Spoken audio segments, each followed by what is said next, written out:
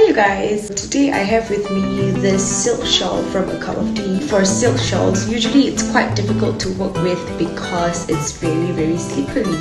But A Cup of Dee shawls has a matte underside so it doesn't like slip off easily. The outer part is satin so underneath is matte so you still get the gloss without it slipping off. I'm just to show you a short tutorial pin it at the back. So some of you actually ask what pin do I use. I actually use this pin. And like I layer it, like in, out, in, out, that kind of thing. So that it will stick and stay. So usually for silk shawls, can get a little bit puffy.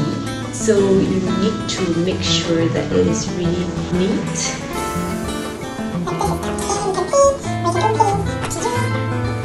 And yeah, there you have it. Or you can even do this. Okay, I'm just gonna pin this Mickey Mouse ears down.